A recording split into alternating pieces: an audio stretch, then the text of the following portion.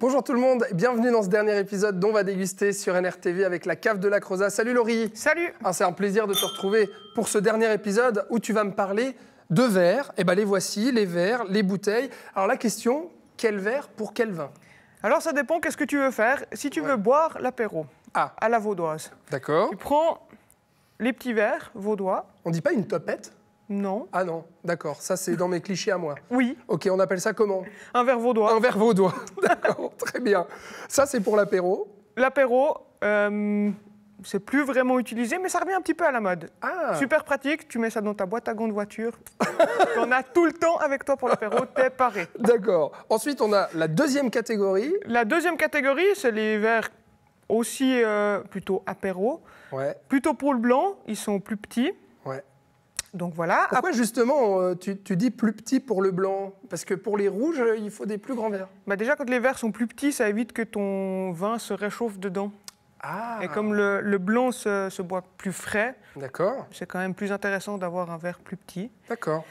Nous, on a la catégorie au-dessus. Oui, euh, le verre parfait pour déguster, pour boire l'apéro, pour euh, boire ton rouge en mangeant avec. Ah, pour le rouge aussi, en mangeant, ça passe Ouais, ouais, il va parfaitement bien pour tout. D'accord. Et ensuite, on a ces verres-là. Les grands verres, euh, que tu peux boire du blanc, du rouge, du rosé dedans, évidemment, avec. Ouais. Euh, qui sont pour déguster aussi, mais ils vont surtout très bien sur une table, ils font joli, ils sont... Effectivement, ils sont jolis, comme tu dis. Alors, ce cliché de dire plus le verre est grand, meilleur sera le vin, c'est juste ou pas? C'est juste, dans les petits verres vaudois, euh, tu vas pas forcément euh, bien sentir les arômes, tu peux pas euh, sentir euh, dans le verre, hein, évidemment, c'est un peu compliqué.